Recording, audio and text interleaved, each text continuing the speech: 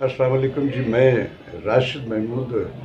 और पाकिस्तान में जिस घर में भी टेलीविज़न मौजूद है, मैं हर उस घर का अबव फोर्टी ईयर से मकीन हूँ। आप सब मुझे देखते हैं और मैंने क्या क्या कुछ इस मुल्क में किया हुआ है, सब आपके इल्म में और मैं खुली किताब की तरह। दो बरस हो गए, कोई काम वाम पीटीवी का, कोई बात नहीं है। नहीं, अभी आप ने सारे काम बंद कर दिए तो चलो हमारा भी बंद है तो हमें क्या फ़र्क पड़ता है? इतनी सी रोटी वो तो अल्लाह देता है, सबको देता है, मुझे भी दे रहा है।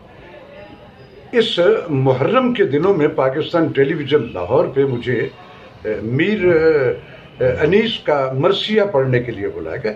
मरसिया वो वो सिंफ है जो हर बंदा पढ़ ही नहीं सकता है उनको। मैं गया रिकॉर्ड करवा दिया, चल भी गया इस नौवीं और दसवीं मुहर्रम को कई मरतबा। दो सालों के बाद उसका जो चेक आया उसमें मेरी फ़ीस है दो सौ पचहत्तर रुपए। और उसमें पाँच सौ रुपया जो प्राइड ऑफ़ परफॉर्मेंस मुझे मिला हुआ है। और इस मुल्क के और भी जितने मोतबर अवार्ड है सब के सब मेरे पास मौजूद है।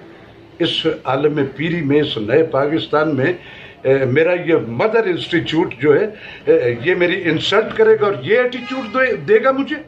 सोलह सोलह बीस बीस और पच्चीस पच्चीस और पंद्रह पंद्रह लाख लेने वाले वो वो लोग हैं।